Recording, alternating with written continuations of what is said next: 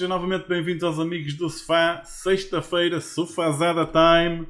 É E hoje- sexta-feira. Yeah, Yeah. Bora lá, bora lá. Sexta-feira, maltinha, mais uma sofazada, cá estamos nós. Fresquinhos. Para vos trazer Ou não? aquele. É, fresquinho. é, mais ou menos, vá, mais ou menos. É um, é bocadinho cedo para mim ainda, digamos, neste momento. Mas eh, não faz mal, não faz mal. Ah, esperemos que tenham tido uma ótima semana ah, e que cheguem ao fim com este novíssimo conteúdo ah, que nós vamos partilhar com vocês.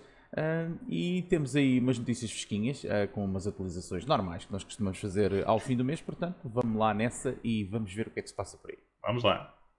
E como é habitual, chegando ao fim do mês, damos conta das novas entradas nos serviços de subscrição da Sony e da Microsoft.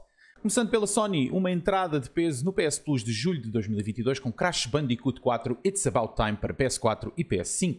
Nesta nova aventura de Crash e a sua namorada Coco irão mais uma vez enfrentar o diabólico Dr. Neocortex e Entropy para evitar que conquistem todo o universo e, como se não bastasse, também o multiverso.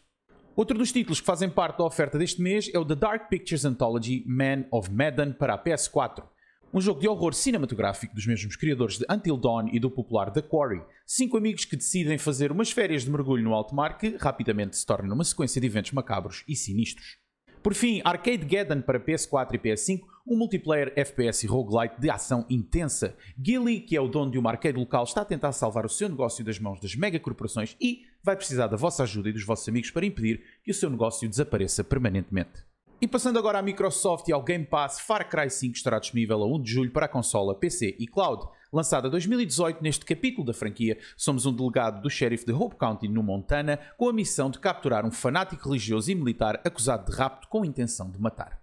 A 5 de julho teremos também Last Call BBS para PC, sendo o último jogo da desenvolvedora Zachtronics é uma compilação de todos os seus jogos de puzzle da última década, tudo junto num invólucro bem retro que pode ser acedido através do vosso computador vintage. Para apenas a Xbox, a 7 de julho teremos Matchpoint Tennis Championships. Para os amantes do ténis, tem aqui talvez uma das melhores experiências desta modalidade que foram trazidas para os videojogos. Elevadíssimo detalhe nos modelos dos tenistas, utilização de milhares de animações. Matchpoint Tennis Championship pode ser muito bem a lufada de ar fresco que este género necessitava. A dia 19 de julho para consola, PC e cloud, mais um lançamento Day One no Game Pass. As Dusk Falls é um jogo de narrativa bastante inspirado nas séries americanas de há 30 anos atrás. Numa pequena cidade do Arizona em 1998, um assalto corre mal e todos os nossos personagens irão descobrir que as suas vidas se interligam de uma forma ou de outra. Por fim, na lista de jogos confirmados para o Game Pass teremos Immortality, outro título de narrativa desenvolvido por Sam Barlow, o criador de Her Story e Telling Lies, conta-nos a história de uma atriz cujo seu marido está desaparecido, criando assim um mistério que vamos ter que resolver. Como é habitual, o Game Pass irá acrescentar mais jogos à sua oferta regularmente, portanto estejam atentos às novidades. E quando estamos a muito pouco tempo de saber a data de lançamento da nova aventura de Guybrush Threepwood em Return to Monkey Island, o criador Ron Gilbert viu-se recentemente forçado a desativar os comentários do seu blog. Em causa terão estado comentários tóxicos e abusivos feitos em relação ao novo estilo gráfico da nova entrada na franquia, que foi revelado na segunda-feira passada. Citando Ron Gilbert, que disse explicitamente que iria desativar a possibilidade do público comentar, o criador de Monkey Island também disse As pessoas estão a ser simplesmente maldosas e tive que apagar comentários com ataques pessoais. O jogo está fantástico e todos que fazem parte da equipa estão muito orgulhosos disso. Joguem ou não, não arruinem a diversão dos outros. Assim sendo, Ron Gilbert confirmou que não irá fazer mais qualquer publicação sobre o jogo, visto que o gosto da partilha foi-lhe retirado. Depois do redondo falhança em 2020, que foi o remake do excelente FPS 13, originalmente lançado em 2003, a Microids não está disposta a largar as suas convicções e anunciou agora que irão trabalhar com outro estúdio para trazer um remaster digno dos seus padrões de qualidade. A Playmagic sai de cena e dão lugar ao estúdio francês Tower 5. Aparentemente, o estúdio situado em La Rochelle já estará a trabalhar neste projeto há cerca de um ano e irá trazer as tão desejadas melhorias ao original que deixaram bastante a desejar no primeiro remaster. Ainda não existe uma data conhecida para o lançamento, mas a Microids garantiu uma nova atualização no próximo dia 13 de setembro. Olha, notícias fresquinhas e coisinhas Fresquinhas. boas. Coisinhas boas este mês. Verdade. Como normal, temos sempre a atualizaçãozinha dos jogos do, do Play- da PlayStation Plus do Game Pass. Eh, Exatamente. excel- excelente, excelente adição, uh, Crash Bandicoot 4. Acho que. Sim, acho que está Por acaso on point. surpreendeu. Ah, sim, e, sendo um jogo bastante recente, uh, temos, não, não é, digamos que não costumamos É ver assim jogos tão recentes na oferta do, do PS Plus. Mas, Também é, é bom ver eles agora no lançamento da nova- do novo serviço puxarem um bocado mais as coisas, também faz sentido. Exatamente, eu acho que a concorrência, a concorrência acaba sempre por ter um efeito bastante positivo. Nós Ah, ficamos a ganhar. para todo. Exatamente, quem fica a ganhar somos nós, porque a Sony obviamente tem que, tem que remar contra a maré, não é? Neste caso, eh, especialmente agora com o seu novo serviço e tudo, tem que ganhar aquela fanbase. Mas, à parte disso tudo, eh, vamos então agora entrar na nossa secção da Mufanga, como é Mufalhada. a mufalhada, e desta vez, Blade, diz lá o que é que tens aí para nós, que eu tenho quase a certeza que até sei qual é a plataforma. Hum, Deixa-me pensar. Se calhar era um deste jogo que corria, não? É, exatamente, Pois. é mesmo isso que eu estou a pensar. Pode ser. E olha, eu vou dar aqui uma pista ao jogo que é, antes de dizer qual é. Hum. Há bom Lauro Dérmio. Ah. Dizia, vejam sempre bons filmes. Ou Always em watch americano, good movies. Good movies. Exatamente. Always E- watch good moves. O jogo que vamos falar é o Movie. Para o ZX Spectrum O Movie, de para o 1986. Lembra-me vagamente. Lembra-me vagamente. O jogo, era, eu pelo menos na altura lembro, para mim era complicado na altura porque eu ainda não percebia muito do que estava a fazer nos jogos. Mais tarde é que eu consegui jogar como deve ser. O jogo era daqueles típicos de visão isométrica que se via muito no Spectrum na altura. Tinhas um teu personagem que andava ali com uma gabardina com as golas levantadas, tipo Cantona no reclame da, da Nike, não sei se te lembras. Que era um jogo contra os demónios que ele levantava e dizia oh, revoir, e rebentava com o outro com as asas na beleza. Pá, lindo. Exatamente. exatamente. Tem que rever isso. perfeitamente. E eh, epá, tu andavas lá com este personagem e tinhas que andar de cenário em cenário a explorar a zona, porque tu estavas, no- pelo que eu percebia, tu estavas na casa de um, de um mafioso e tinhas que ir buscar uma gravação e voltar ao início com ela. Tu tinhas que explorar as várias salas e conseguir descobrir onde é que estava guardada essa cassete e recuperá-la. E depois tinhas uma dinâmica gira que não se muito na altura, que, se- que ficou mais comum, muito mais avançada nos point and clicks que tu tanto gostas. Tu tinhas várias ações que podias fazer. Tu podias pegar em objetos, objetos usar, podias usar hum, o diálogo com, com os personagens que andavam no ecrã, tinhas que escrever e tinhas de ter um bloquinho de notas e uma caneta. Isto é que eu me lembro, porque tu havia alturas tinhas que pedir passwords para certas salas e tinhas que as descobrir. E tinhas que as apontar, porque depois tinhas que as escrever. Lembras-te que o Spectrum tinha um teclado, escrevia-se, não é? Exatamente, exatamente. E, e depois tinhas outra coisa. O jogo era uma ode a este tipo de filmes. E tinhas sempre o que é neste tipo de filmes que o personagem principal tinha sempre uma mulher. Exatamente. A Aqui- Bond Girl. É? Exatamente. Aqui também tinhas uma a ajudar-te. Mas tinhas um twist. Ah, Tinhas uma que te ajudava, que se eu não me engano era a Tânia, e ela tinha uma irmã gêmea, que era a Vânia, pois. que te queria prejudicar. Mas tu não sabias qual é que era qual, porque elas eram gêmeas. Então não as sabias duas- qual é que estava a tentar prejudicar e qual é que estava a tentar ajudar. Tânia e a Vânia, aliás, são as duas cabeleireiras em Alcabidez. Uh, toda a gente as conhece, não é verdade? Uh, uh, Estereótipos. Mas, não, mas olha, era lembro- giro. Este jogo era muito giro. Lembro-me lembro vagamente deste jogo. Mas, mas é curioso que não, não me lembrava já dessa questão ah, da introdução dos elementos de, de aventura ah, point and click. Estavas a falar e realmente as ações. ah, Não era bem, lá. bem a mesma Eu coisa, mas era já ali uma, um cheirinho do que é que podia vir Mas no isso que eu estou a futuro. dizer é se, calhar, é se calhar os primórdios daquilo que depois viria a ser mais tarde adaptado por jogos tão famosos da, da, da Sierra, por exemplo, ah, que adotaram este sistema e também com a Exatamente. escrita. Acabaste de falar na escrita, temos os primeiros, os primeiros por exemplo, o primeiro Suit Larry. Era tudo escrito. Ah, ah, e, e anteriores, anteriores até, o Police Quest, o Space Quest, todos eles, os primeiros jogos, e, aliás, acho que até o segundo jogo do Space Quest ainda, ainda utilizava o sistema de input de comandos. E, e eu lembro-me que foi das coisas que mais me forçou o desenvolvimento do inglês para poder jogar estes jogos foi justamente aprender Quando os jogos ler nos ensinavam coisas a sério. Exatamente, porque tinhas que, tinhas que escrever e, e- e- eu lembro-me de até ter falado com, com- com colegas meus e lembro-me de uma situação tão, tão caricata no, no- no Space Quest ah, em que ah, ele está dentro, ele tem que entrar dentro da nave e tem que voar com a nave para um sítio qualquer. E se tu não apertasses o cinto de segurança, morrias. E eu não sabia qual era a palavra para apertar o, o cinto de segurança, que é buckle up, ou buckle seat belt, ou coisa assim. Houve, E tive que que perguntar a colegas e tudo mais para tentar perceber. Mas, mas pronto, isto pa- para dizer que sim, é reminiscente deste caso dos, dos- do, do- do primórdio destes interfaces, eh, e especialmente dos jogos das E aventuras. olha gráficas que este eu- jogo eu ainda se gosto. joga bem hoje em dia. Se tivermos um, um- onde o jogar e como o jogar, o Google é Vale a pena, vale a pena experimentar, Vale se a calhar. pena. Eh, E eh, eh, também agora vou aproveitar para deixar aqui, para além deste filme, vejam sempre muitos filmes. Lotomoves. Lotomoves, always watch Lotomoves. Pá, Estas, estas fases eram míticas.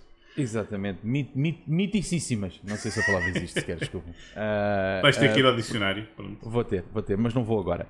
Uh, onde eu vou agora é falar do nosso próximo jogo, que é, digamos que vai ser muito curtinho hoje, tenho que dizer, porque uh, hoje vai ser mais uma vez sobre aqueles jogos estranhos que eu passei horas a jogar. O Ora, short game. O short game, exatamente. E se os putos da minha idade, na altura, jogavam Street Fighter, o Wolfenstein 3D, o Doom, eu jogava coisas estranhas como simuladores de casino. é verdade. É verdade. Não quer dizer que não tivesse jogado os outros jogos, mas eu tinha uma particularidade de, de, de jogar jogos que que ninguém jogava neste caso, ou que ninguém ou que olhavam para aquilo. O que é isso?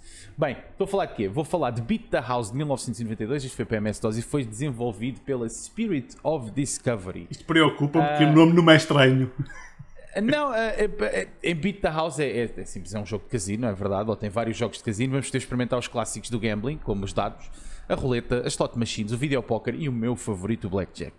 Um, eu já tinha dito anteriormente que um, um, um, dos poucos jogos que eu consegui partilhar com os meus pais no, no velhinho Spectrum foi justamente um jogo que eu tinha lá que era de videopoker. E felizmente, eu não me lembro do nome, e gostava mesmo de o trazer aqui, gostava de me lembrar para o poder trazer aqui.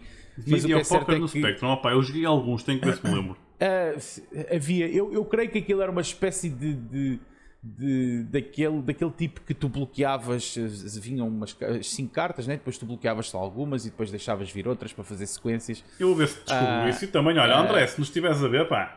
É verdade, André. É contigo, ver, é contigo. O jogo de videopóquer, eu não tenho mais nada, não posso, não posso dizer mais nada sobre o jogo. É o que eu me lembro, não me lembro rigorosamente mais nada sobre o jogo.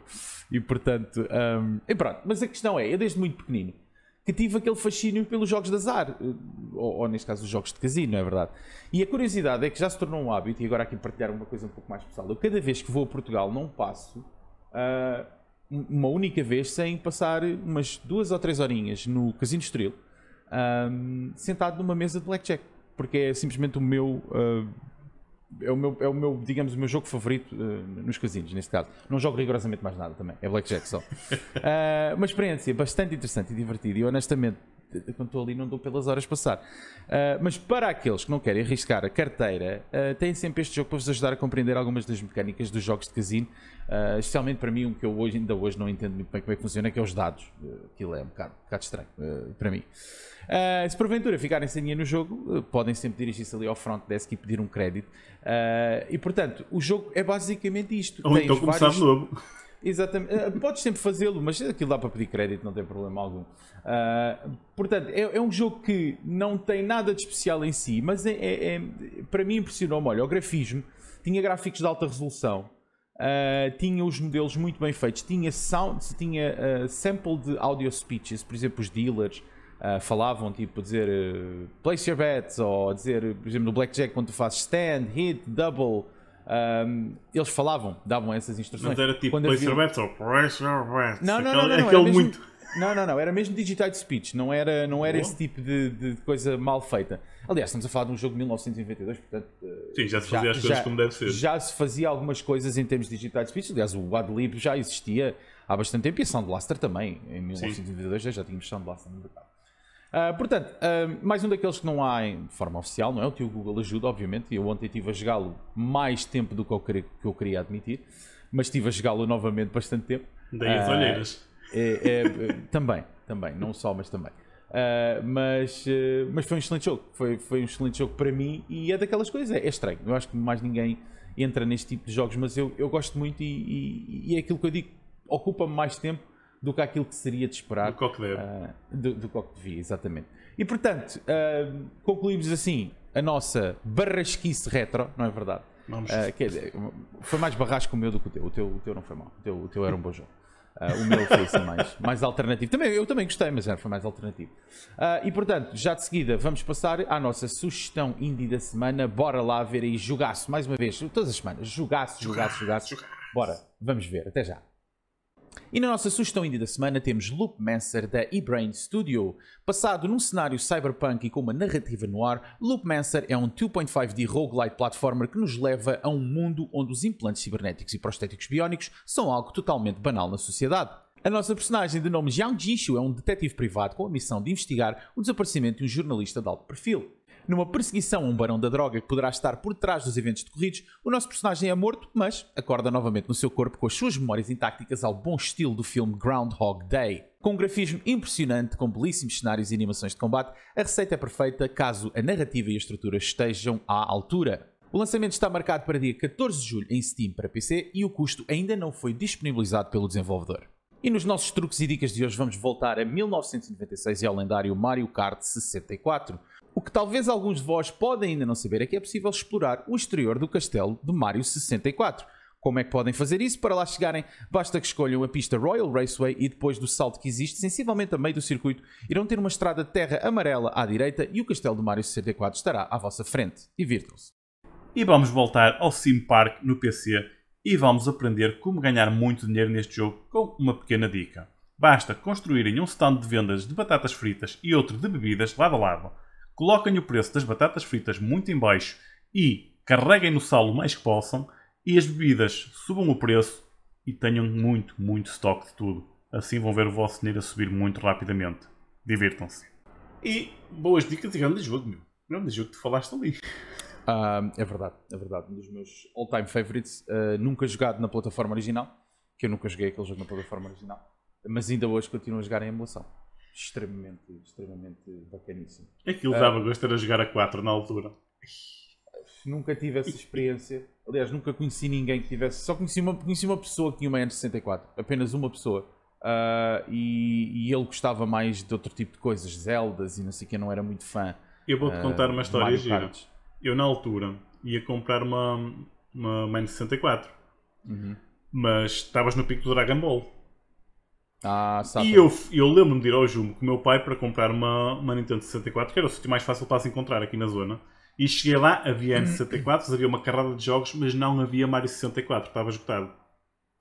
E eu depois olho para lá e há uma Sega Saturn com o Dragon Ball Z. Pronto, está resolvido. Pois, não, e esse, esse jogo na, na, Sega Saturn foi muito bom. Eu joguei tanto muito... esse jogo. Opa, ainda hoje é o Dragon Ball que eu mais gostei de todos. Aquilo é só, aquilo é só basicamente. Uh, é só carregar nos, botões, é carregar nos botões aleatoriamente e aquela merda mata tudo. Mata é tudo. tudo. é espetáculo. Já, já joguei aquilo. É e os truques acontecem e aquilo tudo se passa. Muito Exatamente. Bom. Olha, o que é que se passa também é este episódio, não é? Que acaba de chegar ao fim, infelizmente, mas uh, vamos estar aí de volta para a semana, como é, como é habitual. Portanto, não fiquem com muitas saudades porque nós não, não demoramos muito. Já sabem, subscrevam, deixem o vosso like, partilhem com os amigos. Vocês dão-nos sempre Tragam uma ajuda imensa, imensa para nós continuarmos por aqui, não é? E portanto, já sabem, como nós costumamos dizer, joguem muito e até para a semana. Até para a semana, pessoal. Fiquem bem, joguem muito.